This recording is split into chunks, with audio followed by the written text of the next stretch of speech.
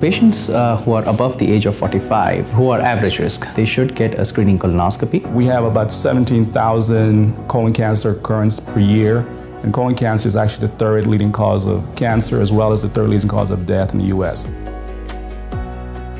People that have high risk factors such as family history, those individuals actually require earlier screening and actually more frequent screenings. Risk factors are somewhat related to diet. If you're having altered bowel habits, you're having constipation, diarrhea, if you're having blood in the stools, blood mixed with stools, or if you see dark colored stools, or you're having anemia, fatigue, tiredness, abdominal pain, then these are some of the signs and symptoms.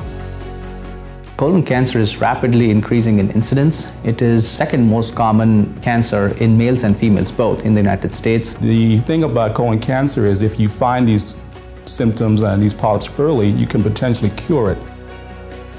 So this process is actually very simple. The only important thing that uh, the patients need to uh, focus on is bowel prep. That will be one day prior to the procedure when they'll be given some kind of a bowel preparation solution. And basically you come the next day to the hospital. You get light sedation for this so you don't remember anything about the procedure. So you get the procedure during the daytime and then uh, after the procedure within a couple of hours you're allowed to go home.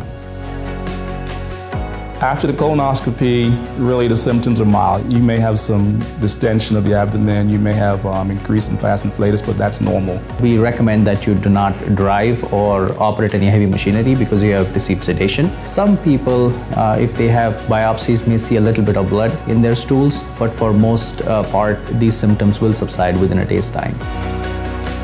It can be the determining factor between long life and cure or potentially late stage and actually early death and morbidity mortality.